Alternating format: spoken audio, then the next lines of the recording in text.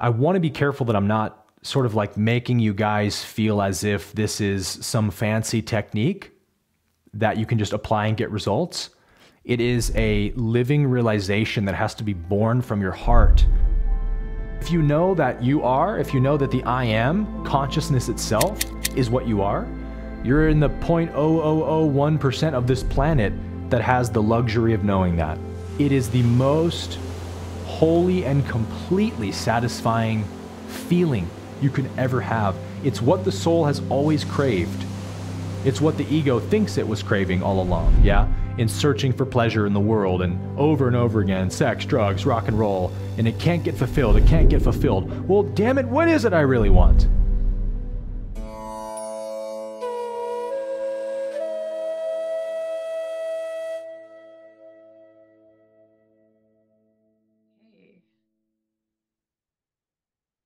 Next question is from Lindsay. I believe that you mentioned we don't want to remain in neutral state once we realize the I am, meaning that we need to apply our I am responsibility. With great powers comes great responsibility. I completely follow you. However, I have been letting go of a lot of situations in my life, simply observing, observing as I do know that I am the creator and that I am being lived. All of all of us are perfect and do not lack anything. This seems like there are two separate concepts or paths on the table at this point. Would you please be clear? Would you please clear this up for me? Yeah, I had a I had this conversation with somebody on I want to say Instagram this week. So yeah, this is the kind of like paradox of stepping into the I am state, becoming the creator, is that you have to also understand how that how that complements non-doership because it does complement it. But again, here's what non-doership means. Non-doership means that the person, the character, the conditioned unit called Aaron Abke, that person cannot do anything. It is being lived by life. It is a product of life. It's a product of its conditioning, of its patterns, and all of that. So it can only ever behave as it's been programmed to behave. It's stuck forever within the limited confines of that person, that conditioned unit. So the person is not the doer. The person is being lived. The person is no different than the clouds passing in the sky. The cloud isn't doing itself. The cloud's a product of nature, right? The cloud's a product of Earth and what Earth is doing. And that's like what the person is. So the person's not the doer. But when we're stepping into the I am, we're not saying I, the person, am the creator. We're saying I I the I am itself. I consciousness, I awareness, I existence am the creator. And the person is something that I'm creating. The person is my creation. So that means the person can't be the creator, right? Uh, a painter is greater than his painting. A musician is greater than her music that she's playing, right? It's her creation. And so the person is your creation. So that's the way that non doership and creator consciousness complement one another.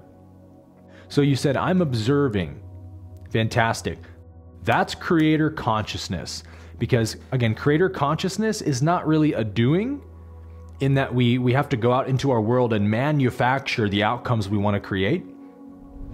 Creator consciousness is choosing where we place our attention because we are attention, we are consciousness, and whatever you give your I am to, you enliven with all the power of the Creator. And it has to come into manifestation in some form. And so you're always wielding the I am, whether you know it or not. You don't need to even say I am. I am is even closer to you than the words I am. I am is your very sense of awareness itself and where you place it. And so, even to feel within yourself um, I'm sick today, or something like that, if you give attention to that thought without correcting it, then you're inviting more sickness into your experience because it has to manifest. Whatever the I am touches has to manifest in due time. Sometimes it manifests very quickly, other times it may take months or years to manifest, but you can be sure if you give it your I am power, it will manifest in some form. And the more you believe in it, the more powerfully it will manifest. the more diligent and consistent you are at keeping your attention on it, the faster it will manifest. So as you practice creator consciousness and you know, building your consciousness through I am. You're, you're choosing each day, how do I want to build my consciousness today? Much like what we just did with Francesco, right? He decided to deconstruct the way he had built his consciousness prior to this moment belief in unworthiness, belief that love must be earned. And we went into that belief, we looked at it with our I am attention, and we said, I'm going to deconstruct that. I'm going to revoke my belief in that. I don't believe that anymore. Thank you. You served me. You, you got me to this point, and now I no longer need your service. I'm ready to transcend that belief and create worthiness, to create the knowledge that love is already freely given. It can't be earned, and I don't need to earn it. So Francesco now has to keep his attention on that. If he just diverts back to the old patterning, he may keep building that again. He may rebuild that belief and keep constructing it. So, this is why creator consciousness requires diligence from us, faithfulness to the task, right? I think we said this last week. Um, sincerity and intention are far more important than technique and method. So, like, it isn't enough to just go through the motions in your mind of, okay, Aaron says to revoke belief in the old thing and affirm what I want to believe. So I revoke that and I affirm this. Did it. Were you really there though? Were you really giving your heart to that just now? Was that sincere? Was there a deep intentionality behind it? Not really, right? It's just kind of you going through the motions, hoping that a technique works. That's not creator consciousness. Creator consciousness is to know that I am in full charge of my state of being based on what I allow, based on what I'm willing to tolerate, and what I'm not willing to tolerate. And what you're willing to tolerate you are inviting into your experience, right? So, are you willing to keep tolerating the belief that love has to be earned? Because if you're not, you may have to deny your belief in that many, many times as it keeps coming up. Because guess what? If you've given a bunch of energy to an old belief for years, it's going to have a lot of charge in it. So it's going to have to, most likely, not always, but most likely, it's going to have to be released gradually over time you may do a MDMA ceremony or an ayahuasca ceremony and have this profound moment of insight where in just a flash all that energy is revoked. Maybe you even purge, right? And you throw it up and you get it out of the body. And then you notice it just never arises for you again. That's also possible, but that's much more the exception rather than the rule. Most healing takes place gradually as we choose to be the creator again and again and again when that belief arises, will you feel like a victim to it? Oh man, I thought I healed this already, and here I am feeling rejected again. Oh, when am I ever gonna. You see how you're creating that with those thoughts? Very subtle, but aren't you giving attention and belief in that idea of rejection? If you're complaining about it, if it bums you out that it appeared again, you still don't know you're the creator when you do that. You still don't realize you are wielding the power of I am. When you really get this, and I've said this on many of our previous calls, right? When you get this, you will know it because a profound shift will take place in you that everything that appears is just a decision. Do I want this? Do I want to continue allowing this in my experience, or am I done with it? And neither's right or wrong. You can play out rejection as long as you want, but at a certain point, you are going to get tired of it because your soul is perfect. Your soul is divine. Your soul is one with God who's perfect love. So you'll never be able to be satisfied living as a victim, living as feeling rejected, feeling unworthy of love, feeling like you have to earn love. These beliefs are inherently wearying to the soul. And so the soul will continue longing to get rid of it. So you just have to come to that decision as the creator that I don't want to keep playing this out anymore. I decide now that it's not worth my investment anymore. I decide now I have no use for this. I decide now that that belief's futile. It cannot fulfill me, it cannot lead me where I want to go, and so I give it up. You're always the creator, no matter how much karma you're carrying, no matter how much belief has been built up in something, you're still the creator because look, you're looking at your creation right? A, lifelong belief in rejection is a lifelong creation of yours. So, we talked about two weeks ago training your frequency is that moment by moment requalifying of your thoughts from the old patterns of victim consciousness to the new pattern you're training of creator consciousness. And so the big hangup tends to be that you think you need to have some gigantic release. You think you need to feel this profound ecstatic love sweep over you, right? And you think your ego tells you if you don't have that experience, well you didn't it didn't really work. But haven't you built that belief in rejection very subtly, line by line, moment by moment? I mean, if we're honest, right? These beliefs that we're unworthy of love or that we're rejected or something. Yeah, there's tra- there's traumatic moments where we we build a huge amount of it in one moment from a trauma, uh, a breakup, a rejection, and then that belief gets charged up with a ton of emotional energy. That does happen. But again, that's the exception, not the rule. Most of the time, there's just a lingering feeling of, of rejection, you know, and we're just allowing it to, to run through our consciousness. We're not taking responsibility for it. We're not requalifying it. We're not deciding what we want. And so you've built these beliefs year after year, moment by moment. And so that's going to be how you deconstruct it too. And if that sounds like a bummer, like, oh, I can't just do it in one foul swoop, I have to do it every day for weeks, months, years. If that sounds like a bummer, you still don't know you're the creator. See? You still think you're a victim. No, you're the creator. You built that belief, and so you can unbuild it and build a new one, but you're only ever looking at your creations. So, what is there to be bummed out about? It should only be ever an empowering realization that you're the creator. So if it feels like a bummer and for any reason, if it feels disempowering that you have to take responsibility now and you have to requalify your thoughts, then you don't know what it means to be the creator yet. So keep seeking, keep asking. Keep asking source to reveal to you your true power, your true divinity. Because if you do see your true power, if you do see your true divinity, you can rise to that level in a moment and speak from there and declare from there and create from there. But you've got to contact that part of you.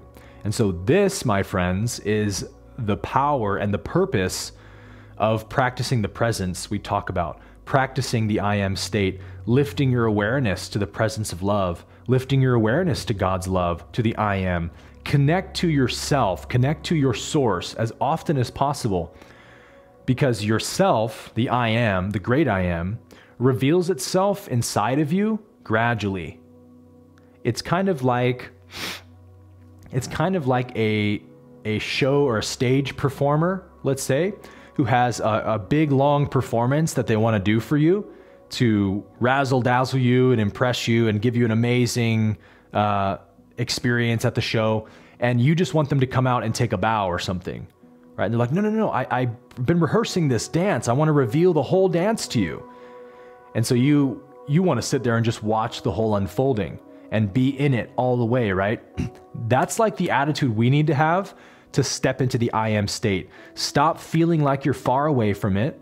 Stop feeling like you're earning it. Stop feeling like it's it's a burden to practice it. be excited, be grateful, be childlike about your current awareness of I am. Just be grateful that you even know I am. Because guess what? If you know that you are, if you know that the I am, consciousness itself, is what you are, you're in the 0.0001% of this planet that has the luxury of knowing that. Everybody else is out there living like victims, living like separate prodigal sons. They don't know who they are, they don't know their creators, they genuinely believe they're victims. And that could be you, right? And it was you at one point. So, can you just be grateful that you even know that you're the creator and be excited that you have that knowledge and be excited to put it to use? Oh, baby, that's the winning ticket if you have that attitude. If you're excited to be the creator, if you look forward to requalifying, ego's days are numbered because that momentum, it can't be slowed down.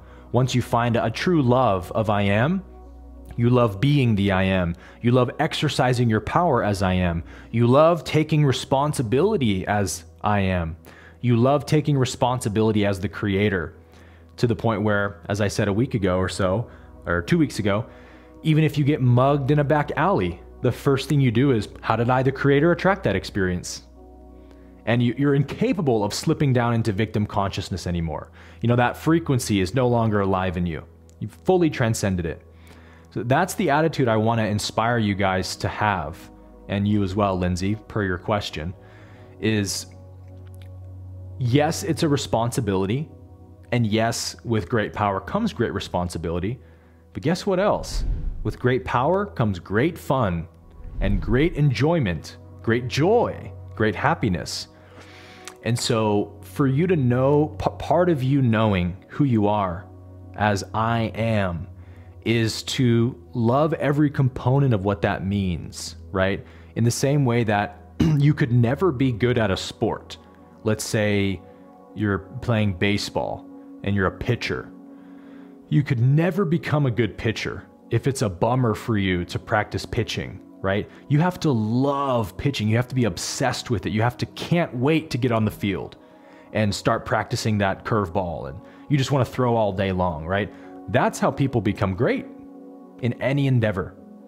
So if you want to become a great creator, if you want to step into your full power, love it. Love that you get to take responsibility for your bullshit.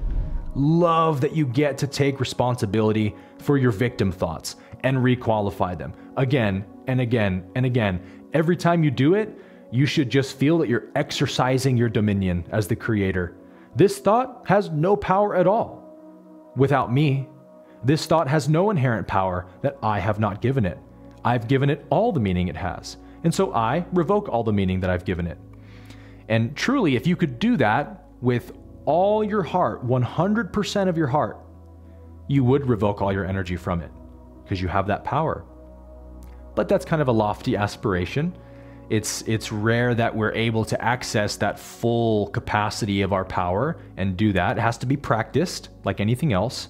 And so we practice it by gradually revoking our belief. And if you can, lift your awareness to those heavenly realms of oneness where you look down at victimhood and it makes no sense at all. It's bizarre, it's weird, it's futile, it doesn't make sense, it contradicts reality, and so it's just seen as useless.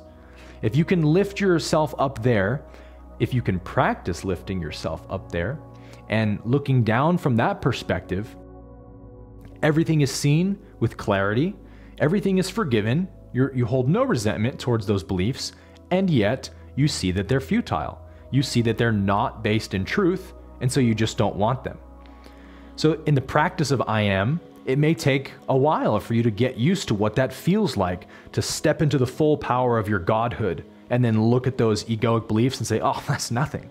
It's nothing. It's just a belief I gave energy to. It has no power over me that I don't give it.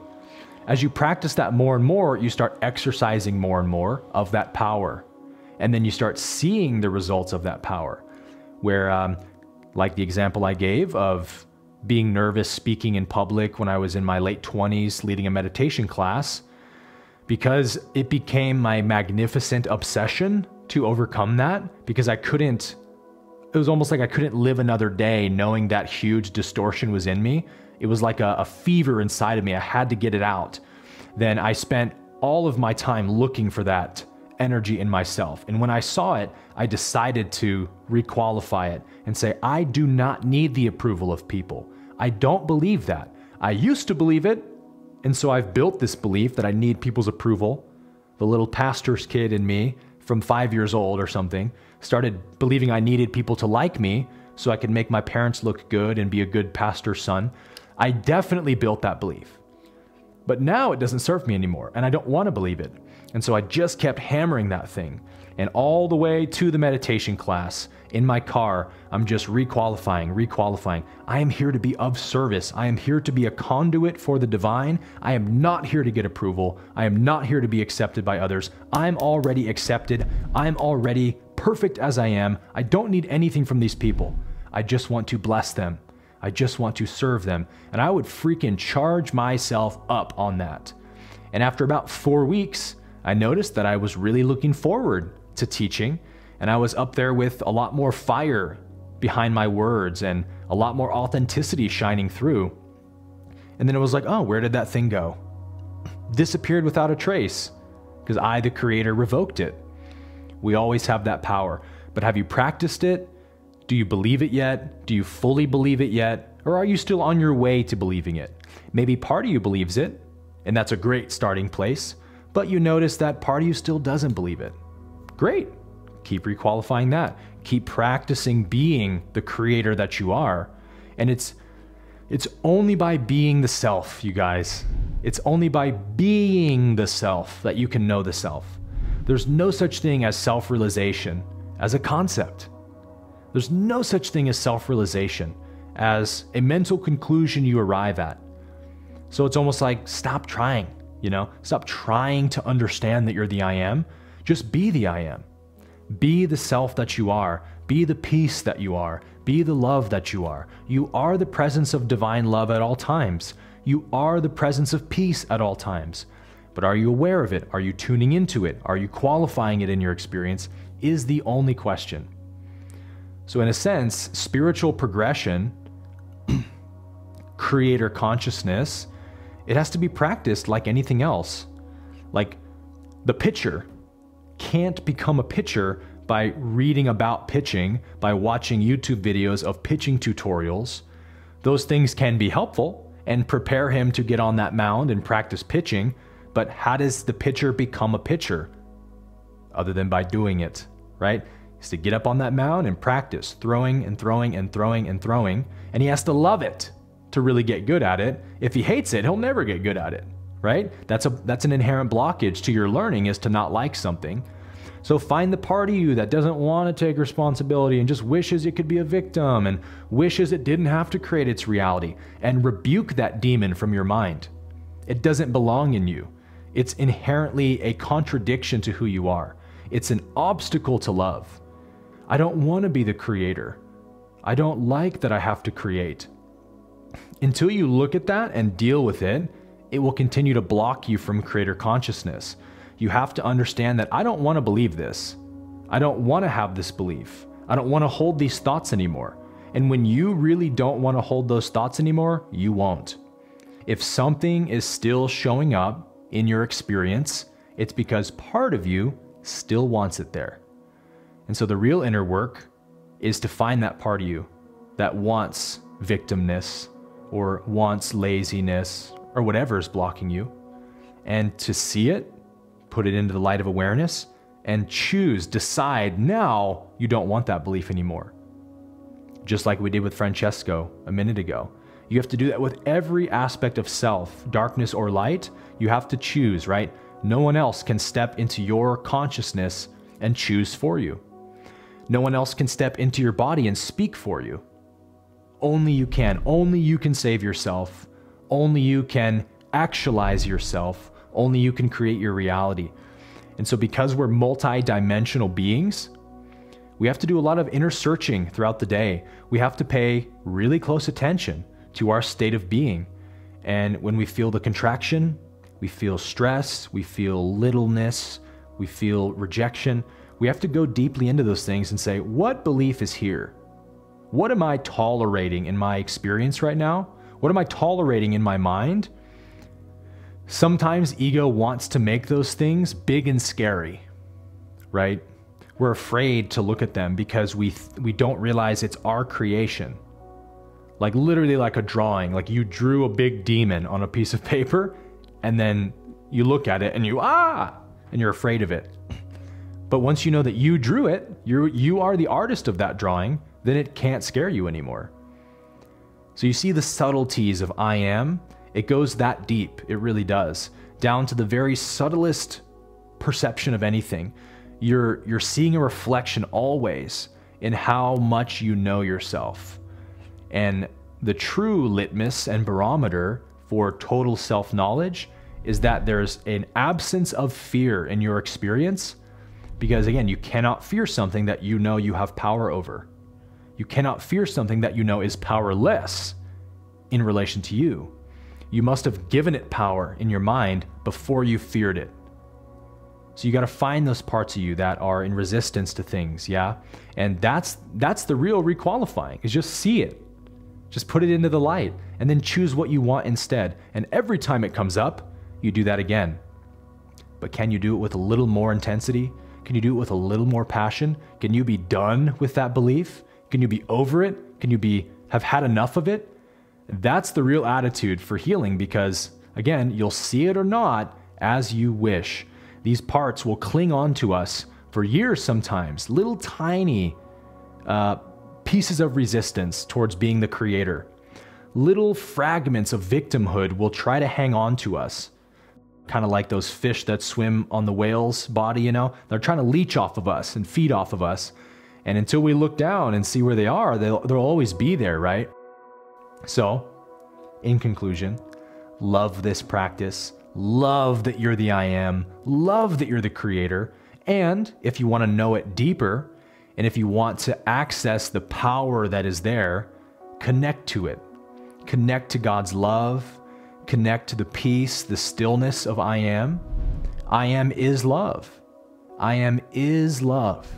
And so if you just remember love, that's good enough. If you just remember that you are, that there is an eternal conscious principle looking through your eyes. And where did that come from? What what source does that belong to? Where is that shining from? You know, this is basic self-inquiry, right? Look to the sense of I am and then trace it back. Where is it shining from? Clearly it's shining. Yeah? Clearly you you are. Clearly you exist. Clearly you are conscious. So it's like there's rays of light beaming forth from you at all times. I am, I am, awareness, existence, consciousness, always, every moment, shining forth. Where's it coming from? And in that inquiry, if, if there's a childlike curiosity to it, you will find it's coming from the very source of all life itself.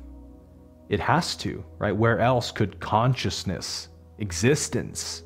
Where else could these things come from?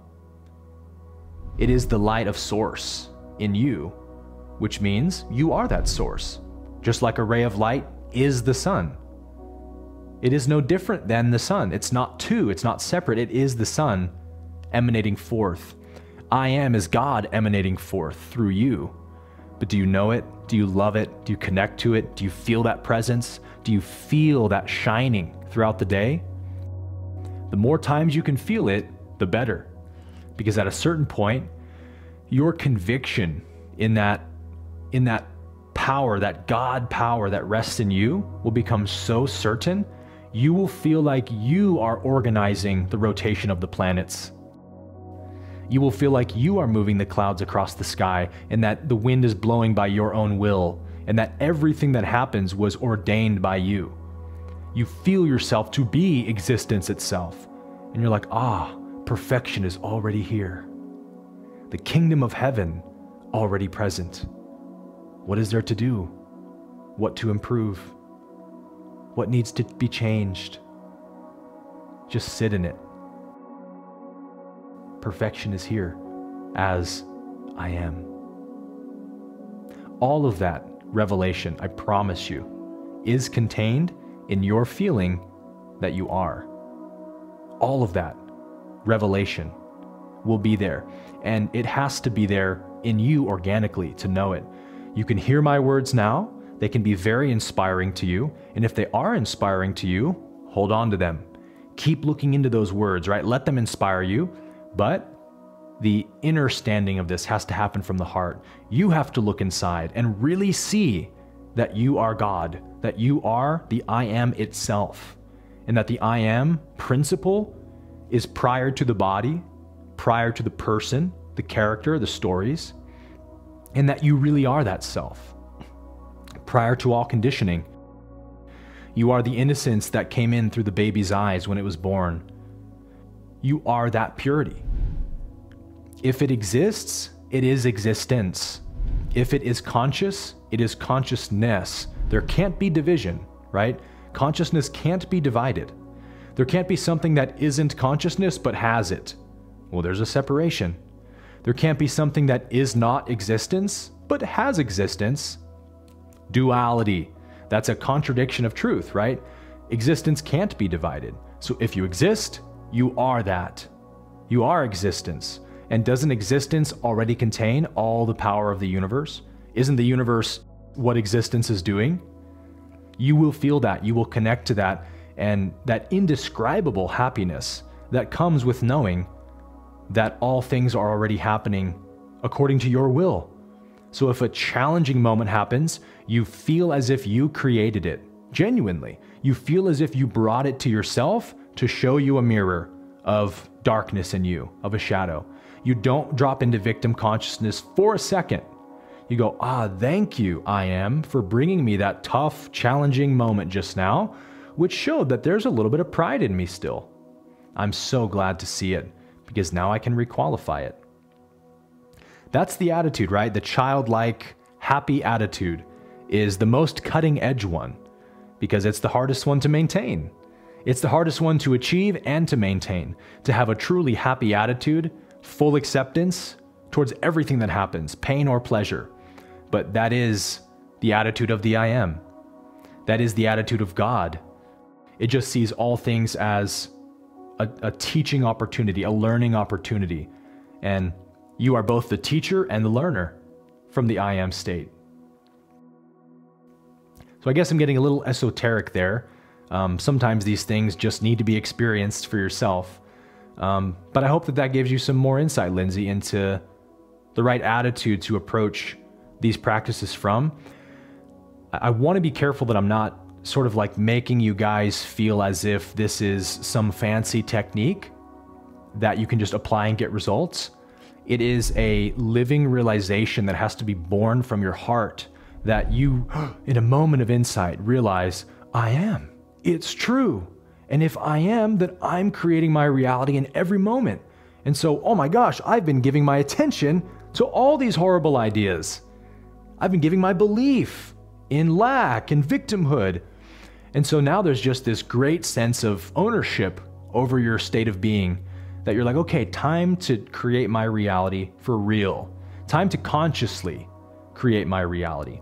That that empowerment, that love to do this, that's the real I am state. When you get there, you're already in the I am state. You may have a lot of energy to requalify, but that's not what dictates if you're in the I am. It's the state of being that is the I am.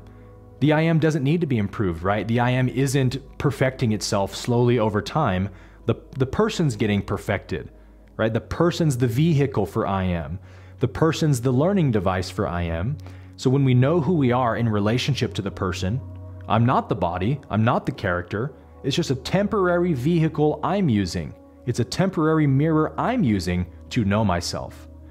Then whatever's there in the person is of no consequence to you. You don't define yourself by it any longer. You don't identify with it anymore. You just say, all right, this is here for my learning and for my growth. I I'm seeing a reflection of my past beliefs that if I want to know myself, I need to change and requalify. But I'm already that.